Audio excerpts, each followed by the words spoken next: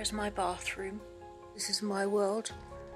I live in a space of six foot by three, which is about the size of a coffin. It is the world of ME. Myalgic encephalitis. myalgic encephalomyelitis. People have tried to tell us that, well, we just need to think more positive and that it's psychological. Oh, yes, that disease that people think that they're sick. They don't acknowledge ME. It doesn't exist. Uh, medical science is just incredibly dismissive. 10 million Americans could be infected with this virus, and that's more than 10 times the infection of HIV. I've been fighting since I was 12 years old. What we're about to talk about is world-shattering news. It's just amazement. It's, it's an entire new field of medicine. Of course, it's also controversial.